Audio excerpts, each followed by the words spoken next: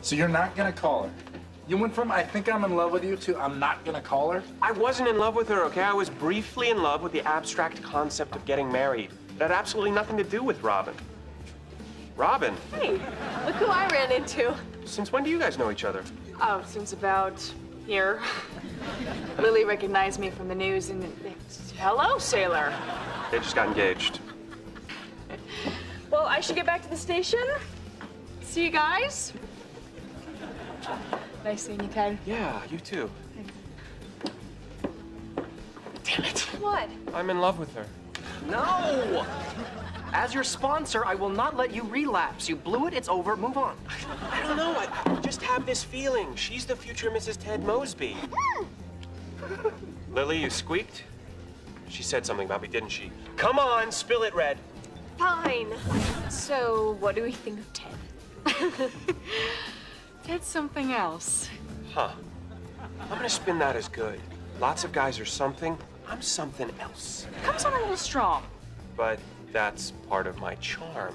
But that's part of his charm. Oh, totally. I mean, he's sweet, he's charming, he's just looking for something a little bit more serious than I am. I mean, the most I can handle right now is something casual.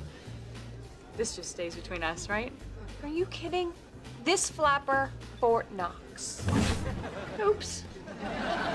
Wants casual. Okay, I'll be casual. I'm gonna be a mushroom cloud of casual. You know why? Because it's a game.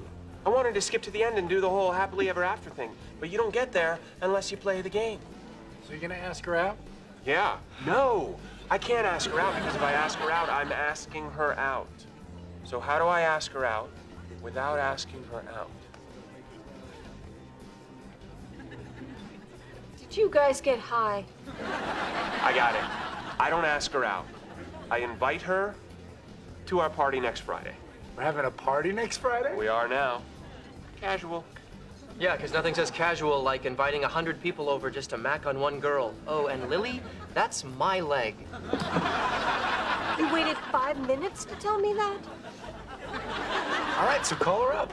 No, Colin's not casual. I just gotta bump into her somewhere. If only I knew her schedule, I could arrange a chance encounter.